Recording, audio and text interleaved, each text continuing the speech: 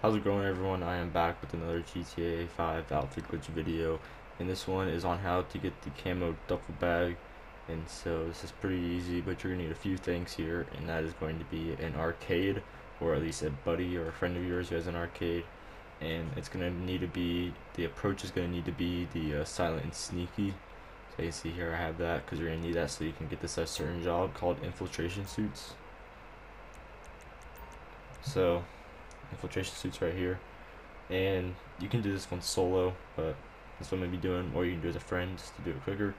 But uh, let's go ahead and start this job. And you're going to be doing it as a solo like me if you are doing it as a solo. There's going to be two duffel bags and you can kind of choose which one you want to actually keep because the duffel bags each one's going to be a little different than the other but uh pretty much just uh if you're a solo, you're gonna need to get one delivered before you can actually do the glitch. So just keep that in mind. If there's a there's gonna be two duffel bags, and you're gonna have to at least uh, take one back. And then once you get the second one, I'll tell you guys what to do once we get the second duffel bag. Okay, so once you uh, get one duffel bag delivered and you have the other, and I, I made a mistake earlier saying that you can change or choose which one you want. They're actually both the same thing, so. Uh, doesn't matter which one you get first, just gotta deliver one first if you're a solo. If not, then you're you can do it, but I prefer just to do this as solo and deliver the first one by myself and do the glitch with the second one because that's how you're supposed to do it. So once you have one delivered and the second one on your character, you're gonna need a vehicle like a helicopter or a oppressor. And as you see down there, maybe not my uh, yellow circle for the drop. What you're gonna do is pretty much parachute and what you're to want is to like land in that circle. So or at least try to get as close as possible but the uh, better and closer you get to the circle the uh, better you will with uh, being able to actually uh, get the glitch to work. So we're gonna go ahead and slow it on down here. That's okay if you don't land in the circle because like I see here I didn't but just go ahead and you're gonna drop off the uh, bag and then You'll see this little cutscene, but don't do uh, anything inside. Just once you get inside your arcade here, just walk right back out because we you want to uh, go to the gun store now. And I'll show you guys what to do once we actually get to the gun store. So we're here at the uh, gun store, and you're just gonna come up to the uh, main desk in the main wall back here, and you're gonna come over here to the parachute bags. Put down the parachute, and you're gonna get the uh, Israel parachute bag. So right here. Look at this one. Alright, so once you have that, choose, if you haven't already, choose which outfit you want to put this on.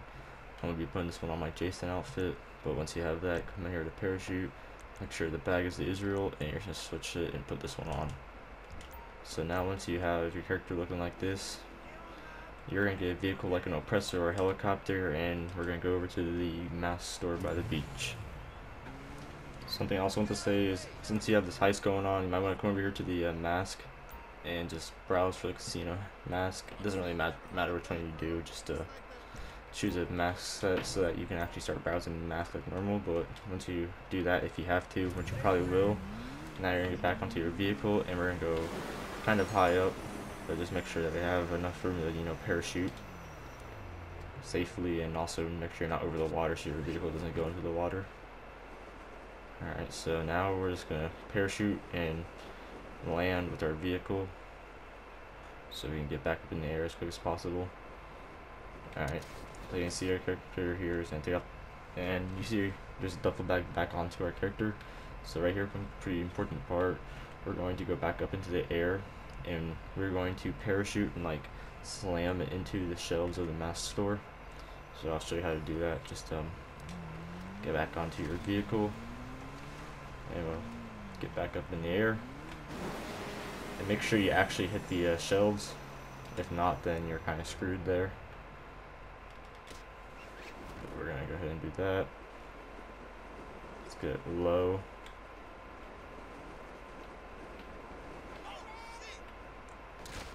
Alright, so there you go. Got that. Alright, so you see you're going to start spamming around the D-pad just so that once you stand up you uh, get the uh, stuff here. And if you look carefully make sure you've got the duffel bag on. So now you're just going to press square or whatever to edit saved outfits. And we are going to save this outfit. Doesn't matter what you name it. But once you do that just back out style press that and there you go. Duffel bag is now on your character and I'm pretty sure you can switch between your outfits. Yeah. So that's how you get the uh, camo duffel bag in GTA Online. If this video helped you please comment subscribe like all that good stuff. And I'll see you guys in the next one. Peace